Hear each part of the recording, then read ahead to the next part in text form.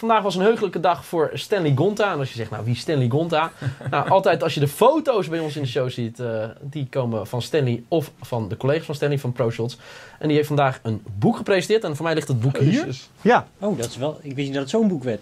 Ja, Dit is echt een gouden plaat. ja, ik ga e- eerst even... Nee, niet deze. Die je in beeld ziet, eh Geert. Dat is een Oh. gouden plaat.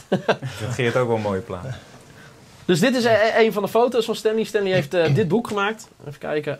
25 jaar voetbalfotografie. En eh, ja, we gaan eh, de komende weken wat foto's van hem laten zien. Die hebben we met Stanley opgenomen en zijn verhaal erachter. Maar ik wil het eerst even van jullie weten. Kijk eens even die foto hier eh, op het beeldscherm.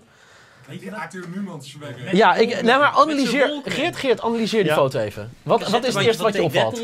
nou ja, dat is, de schouders van eh Arthur Newmans die hangen zo laag. Dat is net een kleerhanger. Dat is het eerste wat me opvalt. Eh, ik vind het best wel een gay foto. Ik vind deze twee van de Sar en Ronald de Boer dicht, best wel dicht bij elkaar. Van de Hooijdonk, gladjes. Wim Jonk. Die sprak toen nog wel met Frank de Boer. Dus ja, ze zijn echt... Het, eh, het Ray-Ban-plangaatje van, eh, van eh, Ronald de Boer is natuurlijk ook wel goed, hè? ja. Zonnebrilletje.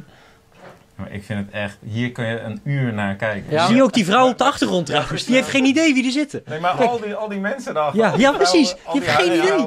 Ja, maar dit is, dit is eh, van de, de Rijnreisjes van Amicitia. Ja, ja. eh, deze- De zonnebloem. Ja. De zonnebloem, ja. Maar, maar over, Overmars, hoe die erbij zit. Jonk en Overmars praten hier ook al niet meer met elkaar. Maar Michiel, Ja, deze hele foto heeft nu ruzie, toch? Michiel, wat valt jou het meest op? Verschrikkelijk. Verschrikkelijk, ja.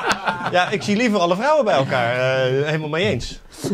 Maar ik zal, ik zal kijken, misschien zijn er ook eh, scènes gefotografeerd in de Nee. douche. Maar goed, Of, laten we eh, dan, terwijl jij in het boek zit te kijken, ga jij even doorheen bladeren.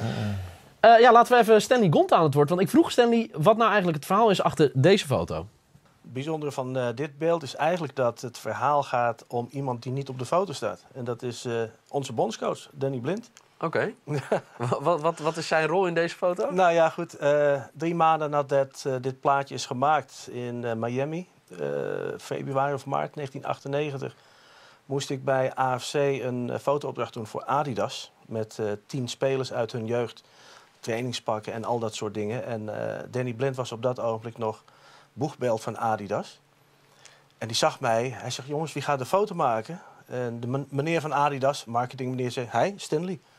Als jij die foto gaat maken, dan ga ik nu weg. En ik Oh. stond, ho, waar gaat dit over? Dus er ontstond een hele nare discussie. Midden op het veld met tien spelers, twintig ouders en een aantal marketingmensen. En ik wist werkelijk waar niet waar dit over ging.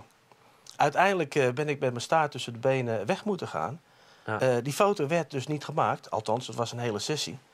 En pas later dacht ik, waar gaat dit over? En toen begon ik een bepaalde relatie te zien tussen de foto die je nu ziet en zijn opmerking. En eh, ja, wat dus blijkt is, hij vond, dat zei hij er ook bij, je bent onbetrouwbaar. Ik denk, waar gaat dit over, onbetrouwbaar?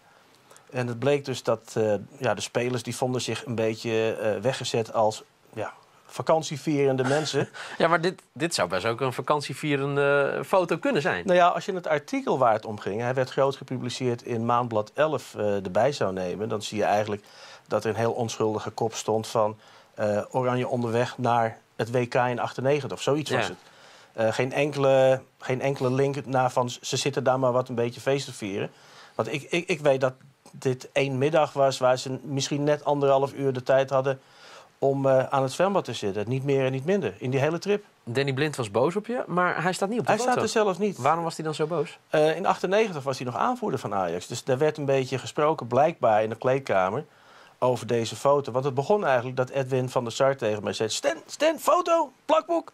Ik denk, nou, mooie, mooie gelegenheid. En nog diezelfde middag kwam ik met allemaal uitvergrotingen...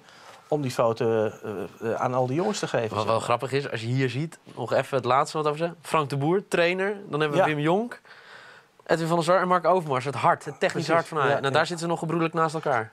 Zeker, maar gaat ook wel goed komen binnenkort weer.